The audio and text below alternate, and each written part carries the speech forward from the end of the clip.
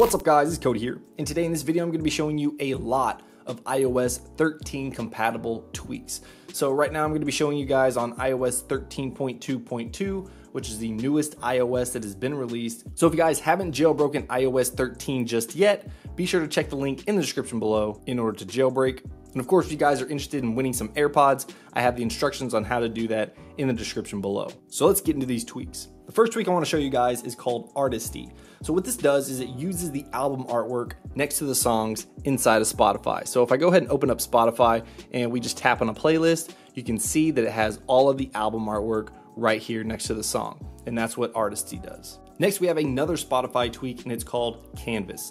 So if you go to a playlist and it's playing some videos in the background, then this is actually going to allow you to save that directly to your photo album. So all you have to do is just tap and hold and it's going to save it directly to your photo album just like that. And you can see right here, if we open that up, we have that saved to our photo album. Next up, we have CC modules. This is one that's been around for a long time, but it's a good one. And if you guys don't know about it, you should. So it's really simple to set up. What this does is allow you to add a ton of different modules to your control center. So if we open up our settings app and we tap on control center here, tap on customize controls, and then if we scroll down here, you're gonna see a ton of all of these control center modules. So you can add these however you want to in whatever order you like. And then once you add those, they're gonna show up inside of your control center. So if we wanted to add home button and let's add Filza, dark mode, Cydia, and safe mode. So if we go ahead and swipe down on our control center, you can see these new toggles that have been added. So if we press on this one, it's going to open up Cydia right there. And same thing for Filza. If we tap on that, you can go to the Apps Manager or the Music Library. So we'll go to the App Manager right there to open that up. So a lot of modules to add and look through. The next tweak we have is called Circle Icons. And what this does is add circular icons for all of your icons in your settings app. And that's all that it does, a simple one, but it makes things look nice and clean. Speaking of clean, clean home screen is the next tweak I wanna show you, and it makes everything look clean. So all you gotta do here is go into your settings and go into your tweaks, clean home screen, and then you can toggle on all of these different things. So we'll go ahead and toggle them all on.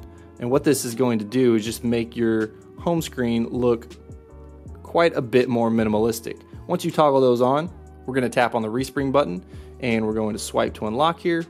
And then you can see we got rid of the background for the dock. We got rid of all the icon labels. We got rid of the status bar. There's a lot of different things you can get rid of. One thing that doesn't work, I noticed, is the badges. So you can see the badges are still here, but I do actually have that toggled off. So that's one thing to keep in mind uh, when you're messing with this tweak. For more cleanliness, you can download Clean Player. Clean Player is another tweak I want to show you guys, and this is one that takes away a lot of the annoying or ugly or maybe just cluttered is the right word in your music player. So you can see it looks a lot cleaner right here. Let's actually play some music and we'll take a look at what it looks like on the lock screen here. So let's play something here and let's go to our lock screen and you can see what that looks like there. So we're hiding three different elements. I'll show you that here in the settings, but you can see that it looks quite a bit nicer. Now, there's a lot of tools on here that you, I just don't use very often, so I think it looks a little bit cleaner just having these UI elements hidden. So if we go into our settings here and we go down here to Clean Player and we open that up, you can see that we're hiding the time labels, we're hiding the time slider, and the AirPlay icon. So if that's something you want to check out, download Clean Player. Next is Color My Battery. So this is going to allow you to customize the color of your battery depending on the battery level of your device. So right now it's charging, so I have a specific color dedicated to the color of the battery when it's charging. But you can see here, if we go into color my battery settings panel, this is what it's going to allow you to do. So you have basically 10% increments here that you can change the color of your battery. So all the way from green, blue, to purple, pink, yellow, all the way to a pale red. So if we go ahead and take this off, it's actually still green because it's pretty high up there. but it, it was working earlier. I had it in the, uh, the 81 to 90% range and it was blue. But this is working and it's a cool one at that. And of course you can customize these colors to whatever you'd like. Next tweak is called Dismiss Progress. So what this does is allow you to not have to restart your springboard every single time you install a tweak. So let's say you're installing several tweaks and you want to install them in, you know, fairly small increments rather than installing all of them at the exact same time because if one tweak fails to install, then the rest of the tweaks in that list fail to install. So for instance, we've already covered circle icon. So if I wanted to remove it, you can see we'll remove it right here. And then it's gonna come up with a restart springboard right down there. But if I'm not too worried about it, it gives me that close button right up there in the top right hand corner that I can just tap on and go along with my business. Now, keep in mind that restarting the springboard does completely uninstall the tweak. So if you don't see changes after you've uninstalled or installed tweaks, then make sure you restart your springboard. Next up, we have double cut. This is an oldie but a goodie. All you do is double tap on the at symbol and it's going to input your email address. So if we just go up here and we double tap on the at symbol, you can see it's gonna put my email address in there. And of course you can make this to whatever you want. It just makes sense to do your email address because that's kind of annoying. But you can also do your own. Put the key that you want to double press up here and then put the phrase or the string that you want it to expand to and then save it and you'll be good to go. Next up, we have a tweak called Easy Switcher X. Now this is a really simple one and what it does is allow you to open up your app switcher and then you can swipe down on any app card here and it's gonna give you a nice little menu here where you can kill all your applications, you can respring your device, or you can reboot it. Now, if you tap on respring, you can confirm it or cancel it right there, and then it's going to respring your device. Also, every time that I respring my device, you see this Apple logo, that is due to a tweak called Make Resprings Great Again. And of course, we had to talk about Filza, which is basically the new iFile. I mean, some of you guys probably don't even know about iFile anymore because it's been kind of not used for a while, but Filza is a file manager. So you can see right here, if we go ahead and open this up, it's exactly what you would think you would get from a file manager on your iPhone. Right now, I'm in my apps manager, so you can see all the apps that I have downloaded and you can basically navigate all the way back to root and through any directory that you could ever possibly need to get into. And of course, I always like to add a little warning to Filza. If you don't know what you're doing when you're manually installing tweaks or themes, then maybe just don't do it or look for a tutorial. Because the last thing that you want to do is delete some file that is absolutely necessary and screw up something on your device. Next is a tweak that I mentioned in my previous video, and that's called Flame. So Flame is going to allow you to do several different things that make Cydia just a little bit more useful. And one of the main things that I like to use it for is that batch install of repos. So once you install Flame, you can actually go into Cydia and then I have a link of all my repos. I'll be sure to link that in the description below as well. But basically what you wanna do is install Flame and then you can go to your sources and then tap edit, tap add, and then you can go into batch mode. So you would copy all of those sources that I have linked down below on your device and then once you hit batch mode it's going to ask you and confirm that you want to add all those repos at the exact same time so this makes things a whole lot easier rather than having to type in each and every one of these repos in order to add them. Now that's the main reason that I use Flame, but it does have some other features right here if you wanna look through those as well. Next up is floating dock. So if you're a fan of the iPad dock, then you're gonna like this one. You can see that I have my dock right here, my standard four icons, and then there's a little line right there, and then it has my last used app, as well as a remote app that I have open up on my iMac. So if I wanted to open that up, it's always available, or if I want to open up my last used app, then it's right there available for me as well. Next up is hide your apps. So this is gonna be a pretty useful tweak if you like to hide some applications that you don't want anybody to see, or maybe you don't wanna see because you don't use them that often, but you don't really wanna delete them. So in your settings app, you just go to hide my apps and go into that uh, control panel, open that up, and then you're gonna see select apps to hide. So if you tap on that, you can toggle on all of your apps. So all, these are all your apps. So let's just say that we want to get rid of, let's just get rid of books.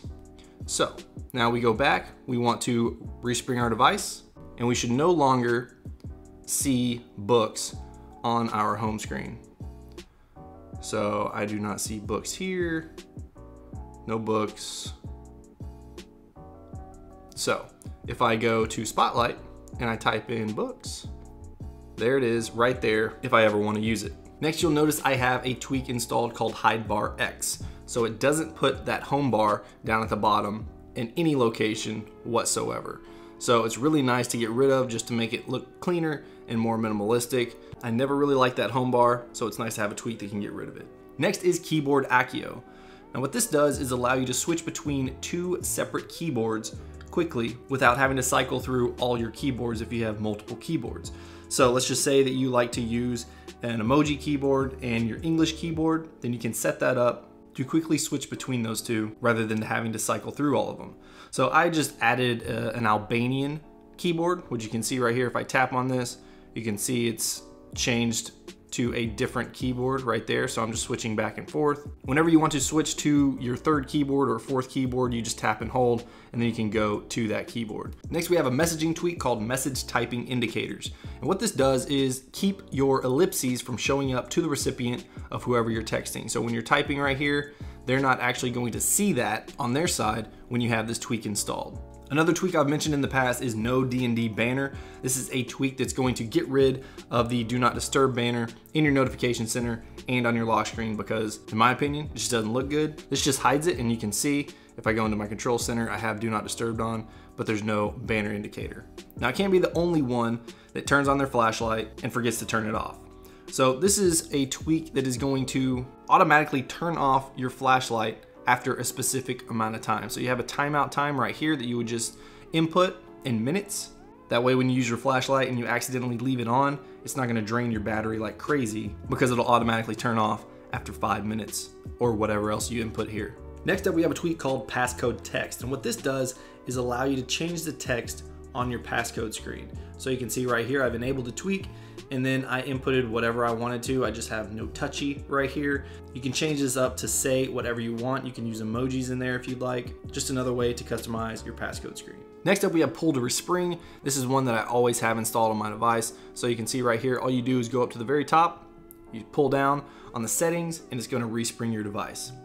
A nice and simple tweak that makes it easy to respring your phone. Next up, we have Real CC. So rather than leaving your Wi-Fi or your Bluetooth turned off temporarily, this is going to disconnect it and turn it off completely. So for instance, if we turn that off, it's gonna turn off and stay off. And that's due to Real CC. Next up, we have simple passcode buttons. So what this does on your passcode screen is it makes it look a whole lot cleaner. So you can do a couple of different setups here. I have it hiding everything. So we have no numbers, we have no letters, all in this passcode screen, and I think it looks pretty nice. Next up, we have sleepy time. So with this tweak, it's really simple. All that it does is tell you how much time you have left until your alarm goes off. Next up, we have a tweak called Small Siri. Now what this does is make Siri not take up the entire screen when you use her. So it's only going to actually take up a banner notifications worth of space right up there at the top when you enable Siri. So we'll go ahead and do that now and you can see what that looks like. Once you're done speaking with Siri, if you need to, you know, talk to her, then you can just tap on that button or you can just swipe up to dismiss it. Next up is status switcher. So what this does is show your status bar inside of your app switcher. Another tweak that I love to install right when I jailbreak my device is swipe for more. This is going to allow you to do a whole lot of things inside of Cydia a whole lot easier. So rather than having to, if I wanted to uninstall this tweak, I would tap on it, I would tap modify, I would tap remove, and then I'd tap continue queuing if I wanted to make more actions or add more things to uninstall prior to actually uninstalling this. So you can do that, but with swipe for more, if I go ahead and swipe over here, and if I wanted to queue this up to uninstall, I would tap the QX, and then that's all you have to do. So it's only a swipe and a tap away rather than several taps. Same thing for installing a tweak. So if you wanted to install a tweak, these are actually all tweaks that are already installed. So let's just go over here and swipe over. You can see you can queue it to install or you can install it right there with the blue button. And last but not least, we have Tap Tap Flip. This is a really simple tweak. If you open up the camera app and you wanted to switch it to the front facing camera, all you would do is double tap on the screen and it's gonna flip back to the front facing camera. Same thing for switching it back to the rear facing and in some cases just makes things a little bit more convenient to switch back and forth between that camera. Alright guys, that's all I got for this video. Hope you guys enjoyed it, and if you did, make sure you hit that like button. I would really appreciate it. Of course, if you guys want to stay up to date with everything jailbreak, everything Apple, or any other tech that I want to cover, make sure you hit that subscribe button, turn on those bell notifications, and I will see you guys in the next video.